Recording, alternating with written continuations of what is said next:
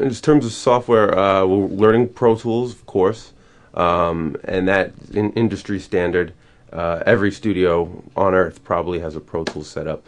Uh, and uh, you know, if you want to know how to record in a studio, you're going to have to learn. We have also been uh, able to focus on generative uh, programs such as Reason, um, you know, other DAW environments, and then you learn how they all work together and how you can um, use multiple software environments like Ableton Live, uh, Digital Performer, um, you know, you name it, Cubase. You can learn how to integrate all these to make the uh, sound environment that you want.